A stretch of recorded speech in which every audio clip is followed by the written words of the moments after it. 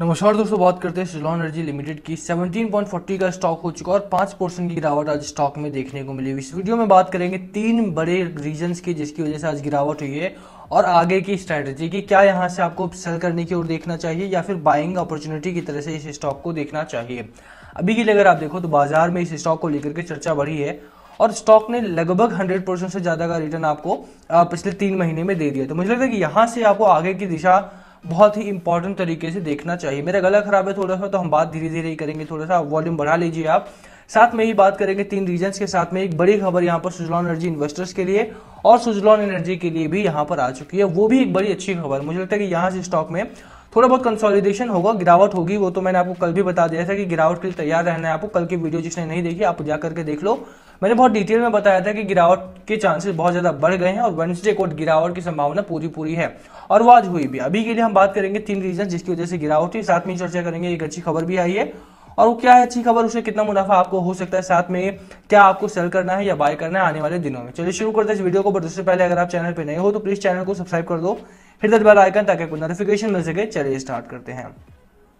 अभी के लिए अगर आप देखिए सबसे पहला जो रीजन रहा, वो इसका चार्ट रहा। ओवर सोल्ड जोन में गया था, मैंने आपको कल भी बोला कि स्टॉक आपका ऑलरेडी ओवर सोल्ड जोन में चला गया है। दो दिनों में अठारह परसेंट के आसपास की रैली ये इसका डेली चार्ट अगर आप डेली चार्ट देखेंगे तो स्टॉक ने ऑलरेडी आपका आउट ऑफ़ बॉलिंजर की रैली दिखा दी थी। और सिंपल सी बात है कि जब भी गैप अप ओपनिंग होगी और वहाँ पर इतनी बड़ी रैली आई, आठ प्रतिशत के आसपास की रैली कल के दिन रही थी सेटलमेंट आपका सात प्रतिशत के आसपास हुआ। उससे पहले अगर आप देखें तो टेन परसेंट के आसपास की रैली रही थी। तो at the end of the day अगर कल भी आप देखें तो सेटलमेंट के टाइम तक यहाँ पर प्रॉफिट बुकिंग देखने को मिल रही थी, क्योंकि साफ़ हो गया था कि आने वाले दिनों में यहाँ पर गिरावट का माहौल बनेगा और ये गिरावट जो हुई थी आठ परसेंट के आसपास की, उसी से पता लग गया था कि आज गिरावट होगी। ये तो मेरा पहला रीजन है कि चार्ट में थोड़े चेंजेस देखने को मिले थे। ओवर सोर जोन में अगर आप देखेंगे तो ओवर सोर जोन में स्टॉक आपका ऑलरेडी चला गया था। उसकी वजह से गिरावट होती है ये पहली बार नहीं था। अगर आप लास्ट टाइम का भी देखेंगे, जब यहाँ पर स्टॉक था आपका, इस पॉइंट पर, तब भी गिरावट आपको देखने को मिली थी और वही चीज़ यहाँ पर रिपीट होती हुई कल के दिन में आज के दिन में दिखाई दी है। ओवरऑल चार्ट को देखना बहुत ज़रूरी होता है। अगर आप इन्वेस्टमेंट करते हैं शॉर्टर पीरियड के लिए भी या लॉन्गर पीरियड के लिए भी चार्ट बहुत मायने रखता है। चाहे आप, अगर आप लॉन्गर पीरियड के लिए निवेश करो तो वीकली पैटर्न आप देख सकते हो। अगर आप शॉर्ट टर्म के लिए जा रहे हो डेली पैटर्न आप देख सकते हो। बट चार्ट फंडामेंटल के साथ साथ ही उतने ही इक्वली इंपॉर्टेंट यहाँ पर रहते हैं, मुझे लगता है इस बारे में। इसीलिए मैं बोलूँगा कि चार्ट आपको बहुत ही ज़रूरी स्टडी करना चाहिए। और अगर आप चार्ट स्टडी नहीं कर पाते हो तो मैं जैसा करता हूँ, आप उसी तरह देख करके सीख सकते हैं। बहरहाल अभी के लिए अगर आप देखो तो पहला रीजन आपका चार्ट में ओवर जोन आ गया था, उसकी वजह से गिरावट हुई। सेकंड रीजन की बात करें तो एनएससी में जो लगातार आपका मार्केट ऑल टाइम हाई लगा रहा था, वहाँ पर भी कल के दिन में भी प्रॉफिट बुकिंग देखने को मिली और वही चीज़ आज भी आपको रिपीट होती हुई दिखाई दी है यहाँ पे।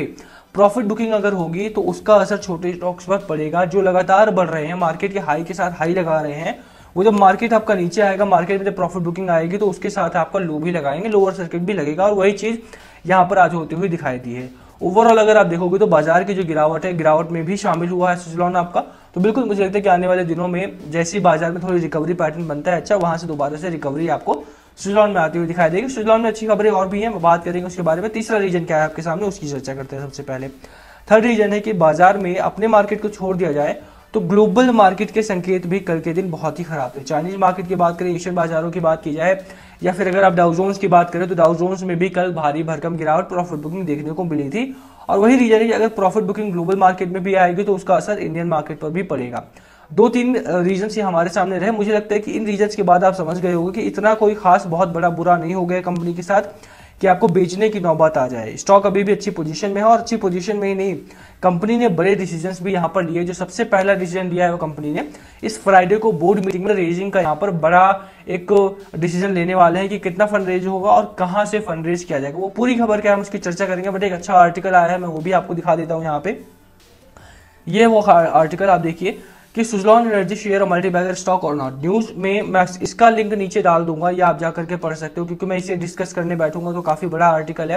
और एक एक पॉइंट को डिस्कस करने में काफ़ी समय लग जाएगा। बट मैं इसका लिंक नीचे दे दूँगा। जिन लोगों को भी लगता है कि कई बार लोग कहते हैं कि भाई आ, हमें न्यूज़ नहीं मिली हमें लिंक नहीं मिला तो उनके लिए मैं ये लिंक नीचे छोड़ दूँगा। आप जाकर के पढ़े और काफ़ी सही आर्टिकल है। अगर आपने निवेश कर रखा है तो भी पढ़िए नहीं कर रखा है करना चाह रहे हैं तो भी पढ़िए क्योंकि इस आर्टिकल से पढ़ करके आपको लगेगा कॉन्फिडेंस आएगा। जब मार्केट में गिरावट हो रही हो आपके स्टॉक में उस टाइम पर आपको इस तरह के आर्टिकल्स की बहुत ज़्यादा ज़रूरत होती है। तो इसको छोड़ देते हैं। अभी के लिए मैं लिंक दे दूँगा आप पढ़ लेना। बाकी सेकंड आर्टिकल जो है हमारा solar energy share source but headwind could be building यहाँ का मतलब है कि दो से तीन दिनों में यहाँ पे अच्छी खासी रैली आ गई। आप देख सकते हैं the company market capitalization multiplied over 2.2 times इसका मार्केट कैप एक लाख करोड़ के आसपास का था। दो से तीन दिनों की, दस दिनों की जो रैली आई है, उसकी वजह से 2.25 लाख करोड़ के आसपास का मार्केट कैप हो गया। लगभग डबल हो गया डबल से भी ज़्यादा हो गया, ठीक है? दो दशमलव दो टाइम्स का यहाँ पर मार्केट कैप आपका यहाँ पर बढ़ चुका है। ओवरऑल अगर आप देखेंगे तो सवा दो two point two five lakh crore के आसपास का यहाँ पर मार्केट कैप होना किसी भी कंपनी का, ये डायरेक्ट सिग्नल करता है कि मार्केट अभी इतनी बड़ी तो हो ही चुकी है कि इन्वेस्टर्स को इतनी टेंशन नहीं होनी चाहिए कि मार्केट क्या होगा अगर मार्केट दो रुपए का हो जाए। बहुत सारे लोग कमेंट करते हैं कि नहीं स्टॉक आपको दोबारा से आठ रुपए पे आ जाएगा। स्टॉक आपको दोबारा छह रुपए पे आ जाएगा। मैं पूछता हूँ कि रीजन क्या है उसके पीछे? आप बोल रहे हो आठ रुपए पर आ जाएगा? हो सकता है भाई कंपनी में स्टैम्प्स होते रहते हैं कंपनी में बुरी खबरें आती रहती है बट इस देर अ रीजन कि आपको लगता है कि आठ रुपए पर आ जाएगा? इस समय क्या हो रहा है कंपनी में? आप वो देख करके बताओ कि कहाँ जाने वाली है कंपनी और इस समय कंपनी में अच्छी खबरें हैं। मैं आपको बता देता हूँ कौन सी अच्छी खबरें हैं। यहाँ पर अगर आप देखेंगे, जैसे मैंने बताया कि दो से चार दिनों में दस, दो महीने में आप बेसिकली लगा सकते हैं, जब से मार्केट में आपको अच्छी खासी रैली देखने को मिल रही है। दो महीने में अगर आप देखेंगे तो इस मार्केट का मार्केट कैप जो है कंपनी का, वो ऑलमोस्ट डबल हो गया है।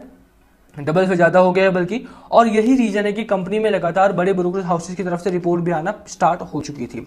इस इस वीडियो में अगर आप देखें तो खबर नहीं आई है। पाँच जुलाई की खबर है अक्टूबर 2022 में इन लोगों ने 1200 करोड़ रुपए के आसपास का राइट्स इशू किया था और फंड रेजिंग की थी। इसी फ्राइडे को आपको दोबारा से बोर्ड मीटिंग होने वाली टू डिसाइड कि कितना फंड रेज होगा। कितना के साथ साथ ये भी डिसाइड होगा कि कहाँ से फंड रेज होगा। यानी डेट से उधार लिया जाएगा इक्विटी इशू की जाएगी राइट इशू किए जाएँगे क्यूआईपी इशू की जाएगी ईसॉस इशू किया जाएगा, होगा क्या? इस खबर को आप आगे पढ़ते हैं तो आपको मिलेगा। As part of fund raising plan the company offer two forty crore share और share at rupees five equity share according to C N B CNBC TV eighteen the company now looking to raise दो हज़ार करोड़ के आसपास का fund raise करने के बारे में कंपनी विचार कर रही है क्यू आई पी राउट के थ्रू हालाँकि क्यू आई पी अभी फाइनल नहीं है, ये इशू कर सकते हैं। या फिर ये डेट भी ले सकते हैं। बट अभी के लिए अगर आप देखो तो 2000 करोड़ के आसपास का फंड रेज करने का यहाँ पर प्लान बन चुका है। रीजन क्या है उसके पीछे? जैसे मैंने लास्ट वीडियो में भी बताया था आपको कि कंपनी यहाँ पर एक्सपेंशन की ओर देख रही है। कंपनी अभी एक्सपैंड करने की ओर देख रही है। सत्रह कंट्रीज़ में ऑलरेडी ये लोग अपना पैर जमा चुके हैं और सत्रह कंट्रीज़ से बाहर निकलने का इनका प्लान है अब। एक्सपेंशन के लिए पैसा चाहिए क्योंकि कंपनी ने गीगावाट के आसपास का यहाँ पर जो मार्क था इनका एनुअली वो क्रॉस किया। उसके बाद अभी कंपनी यहाँ पर दो हज़ार करोड़ के आसपास का फंड रेजिंग करके दूसरी कंट्रीज़ में एक्सपेंशन करना चाह रही है। साथ में जैसा मैंने बताया था कि डेट इनका कम हुआ है, उसकी वजह से कंपनी अभी मार्जिन अच्छा एक्यूमुलेट कर रही है और मार्जिन को और अच्छा बनाने के लिए भी यहाँ पर अपने फंड रेजिंग की जा रही है। ओवरऑल अगर आप देखेंगे तो कंपनी का ये फैसला मुझे लगता है कि बहुत ही सही डायरेक्शन में आया है। और यही कारण है कि लगातार अगर आप पिछले दिनों देखें तो लगातार एक अच्छी खासी रैली आई थी। अभी भी आपके पास मौका है। कई बार ऐसा होता है कि जब इस तरह की अच्छी खबरें आती कंपनी में तो बड़े ब्रोकर हाउसेस अपना माल डंप करना स्टार्ट करते हैं ताकि स्टॉक प्राइस जो है उसका नीचे जाए और नीचे से वो और ज़्यादा माल उठा सकें। मार्केट में अगर आप लंबे समय से रुके हो तो आपने ये अक्सर देखा होगा कि जो भी कंपनी बेहतर करती है, उसमें लगा, अचानक से गिरावट आ जाएगी और आपको पता भी नहीं चलेगा गिरावट आ रही फिर कुछ दिन बाद आप देखेंगे कि वो कंपनी जो 200 की बिक रही थी वो 2000 की हो चुकी है और आप खरीद नहीं सकते उसे।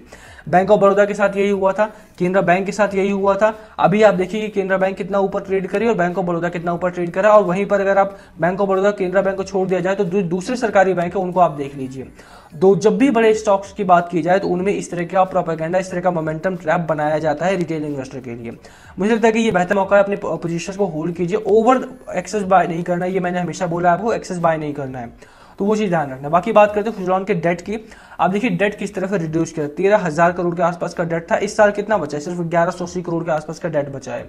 तो ओवरऑल अगर आप बात करेंगे कि देखिए, बहुत सारे लोग बोलते हैं कि ये कंपनी दोबारा से आठ पर जाएगी। क्यों जाएगी भैया आठ पर? आप इसका डेट रिस्ट्रक्चरिंग देख रहे हैं कि किस तरह से इसने डेट को रिड्यूस करा। आप देख रहे हैं कि फंड रेज कर रही है लगातार कंपनी आप देख रहे हैं कि जो प्रमोटर के प्लेस्ड शेयर थे, वो छुड़ाए गए हैं। कंपनी कर्ज मुक्त हो रही धीरे धीरे करके और इनका ऑर्डर बहुत अच्छा मिल रहा है। तो आप किस बेसिस पे कह रहे हैं कि आठ रुपए का हो जाएगा? बिल्कुल। तो इस तरह के रूमर्स में मत बढ़िए। आठ रुपए की नहीं होने वाली। Company as long as company is growing यहाँ पर पैसा बनाया जा सकता है, सीधी बात है। ठीक है? कंपनी बेहतर काम करे कंपनी जो जो भी कंपनी बेहतर काम करेगी। मैं सुजलॉन की बात नहीं करता। जो भी कंपनी बेहतर काम करेगी, जो भी कंपनी अपने डेट को कम करेगी, जो भी कंपनी फंड रेज करके अपना एक्सपेंशन के ऊपर ध्यान देगी, वो कंपनी अच्छा काम कर सकती है। तो यही रीजन है। मुझे लगता है कि अभी भी चार परसेंट, पाँच परसेंट की गिरावट ज़रूर हुई है बट ये होल्ड करने का टाइम है, ये निकलने का टाइम नहीं है। अभी के लिए बात करें तो ये आर्टिकल मैं आपको डाल दूँगा। ये आर्टिकल आप जाकर के पढ़ लेना। है शेयर मल्टीबैगर स्टॉक काफ़ी ठीक ठाक आर्टिकल है पटने से भी। बहरहाल अभी के लिए बात करें कि देखिए गिरावट हुई है, कब तक गिरावट होगी, इसकी भी चर्चा कर लेनी चाहिए, क्योंकि ये भी इंपॉर्टेंट हो जाता है। कब तक गिरावट होगी का कोई खास जवाब नहीं है मेरे पास, मैं सीधी बात करता हूँ। देखिए, रीजन क्या है उसके पीछे? कि फ्राइडे को फंड रेजिंग का बवाल होने वाला है। तो फ्राइडे को जब तक फंड रेज का फाइनलाइजेशन नहीं हो जाता, तब तक के लिए स्टॉक के ऊपर प्रेशर रहेगा। मार्केट ऑलरेडी आपका काफ़ी ऊपर चढ़ चुका है तो वहाँ पर प्रेशर है गिरावट का, वहाँ पर प्रेशर है प्रॉफिट बुकिंग का। जब तक मार्केट आपका सेटल नहीं होता है मार्केट सेटल हो जाए, उसके बाद आप देखेंगे कि सुजलॉन दोबारा से रैली करेगा। इसमें कोई दो राय नहीं ये मैं कह सकता हूँ कि हाँ मार्केट दोबारा से आपको बाईस रुपए तक के टारगेट तो आपको इस स्टॉक में आते हुए दिखाई देंगे, ऐसी ऐसी टारगेट है। अभी के लिए अगर आप देखो तो होल्ड करने की मेरी सलाह रहेगी आपको। अपर एंड पर अगर आप देखोगे तो अराउंड नाइनटीन रुपीज़ का रजिस्टर फेस कर रहा है स्टॉक आपका। मैं इसे रफ कर देता हूँ, उसके बाद दिखाता हूँ मैं आपको। यहाँ पर ओवरऑल देखोगे और निचले लेवल पे अगर आप देखो तो सपोर्ट लेवल आपको मिल रहा है that is around seventeen rupees का। सत्रह रुपए का सपोर्ट लेवल स्ट्रॉन्ग है आपका, मुझे लगता है कि यहाँ पर स्टॉक आपका सेटल होता हुआ दिखाई दे सकता है। प्रेशर है स्टॉक के ऊपर, वो थोड़ा सा आपको ड्विंडल होता हुआ दिखाई देगा बट दैट डजन मीन कि आपको बेचना है। एक्सेस बाय नहीं करोगे तो आपको पैनिक नहीं होगा कि मैं बेच देता हूँ, इतना ज़्यादा बाय कर रखा है, नीचे आ गया तो क्या होगा? इसीलिए मैं हमेशा कहता हूँ एक्सेस बाय नहीं करना है। बाईस रुपए के टारगेट के लिए अभी भी आपको रुकना चाहिए, जो कि ऐसे ऐसे सिक्योरिटीज का टारगेट बाकी लास्ट कॉल मस्ट भी उसके आपकी स्ट्रेटजी स्टॉक को लेकर के। प्लीज़ कमेंट करके शेयर करना कि आपको भी लगता है कि आठ रुपये का हो जाएगा शेयर तो वो भी कमेंट करना। बाकी लास्ट कॉल वीडियो को यही खत्म करेंगे, पसंद आए तो लाइक करना चैनल पर नए हो सब्सक्राइब किए बिना मत जाना। Thank you for watching and please comment पूछना हो तो थैंक यू